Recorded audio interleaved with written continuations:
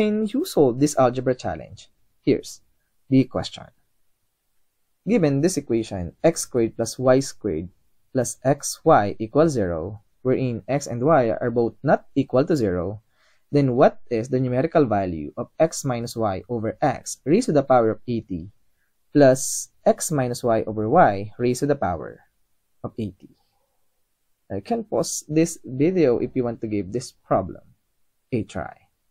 Because I will show you the answer and the solution in 3, 2, 1. And the answer to this question is negative 3 raised to the power of 40.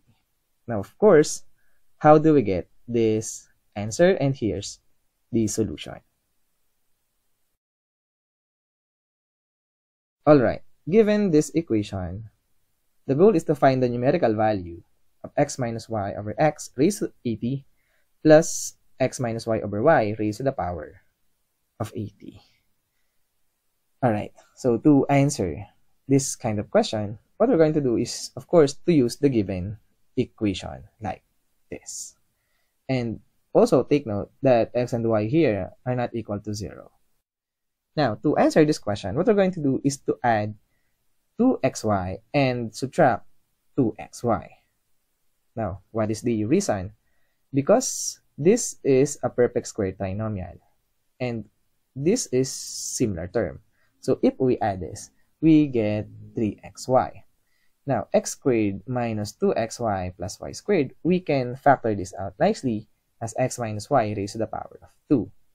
Now, subtract 3xy on both sides, we get x minus y raised to the power of 2 equals negative 3xy. Now, why we need to get the value of x minus y raised to the power of 2? And here's the reason. So first, let's set aside this result and let's get the expression that we want to evaluate. Now, using some laws of exponent, we can divide this 80 by 2 and raise x minus y over x to the power of 2, like this. And now, simplify 80 divided by 2, we know this is just 80. Now, from here, what we're going to do is to simplify this expression inside the parentheses. So we can rewrite this as x minus y raised to the power of 2 all over x squared. On the other hand, x minus y over y raised to the power of 2, we can rewrite this as x minus y raised to the power of 2 all over y squared. Now here comes this equation comes into play because we know x minus y raised to the power of 2 is negative 3xy. So we can replace this numerator as negative 3xy. And also the other numerator, we can replace this with negative 3xy as well. Now, from here, let's simplify a little bit.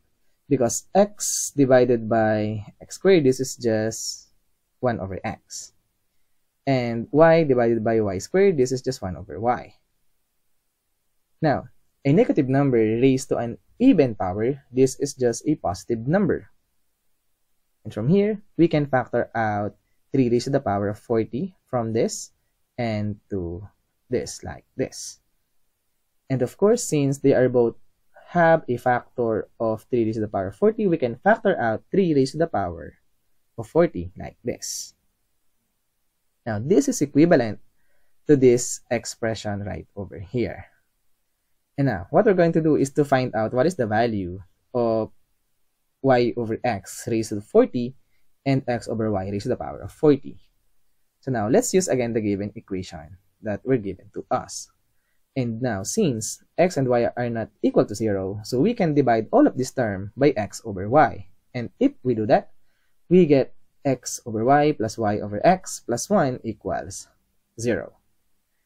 Now, what we're going to do is to let t be equal to x over y. Because this expression is just t plus 1 over t, this is just the reciprocal of x over y, plus 1 equals 0. And now, let's focus on this equation. Take note that t is x over y. Now, what we're going to do here is to multiply all of this term by t. So, we have t squared plus 1 plus t equals 0. Rearrange some terms a little bit. We have t squared plus t plus 1 equals 0. Now, since we know x and y are not equal to 0, So t is not equal to 0 as well. So we can multiply this equation with t. So t cubed plus t squared plus t equals 0. Now, what is the value of t squared plus t? Using this equation, if we subtract 1 on both sides, we get t squared plus t equals negative 1. So this value is just negative 1. Therefore, t squared minus 1 equals 0. We get that t squared equals 1.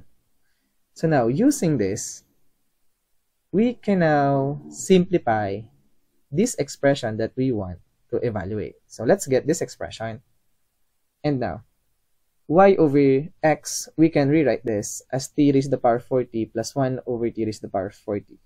t raised to the power 40, we can simplify this using some laws of exponent. We can rewrite this as t times t squared raised to the power of 13. Because 3 times 13 is 39 plus 1 is 40. Now, we know the value of t. This is just 1. So all of t squared becomes 1. Now 1 raised to the power of 13 is just 1. So this simplifies to t plus 1 over t. But what is the value of t plus 1 over t? Here comes this equation comes into play. Subtract 1 on both sides, we have t plus 1 over t equals negative 1. So the value of this is just negative 1. Now, 3 raised to the power of 40 times negative 1, this is simply equal to negative 3 raised to the power of 40. And this is the value of this entire expression.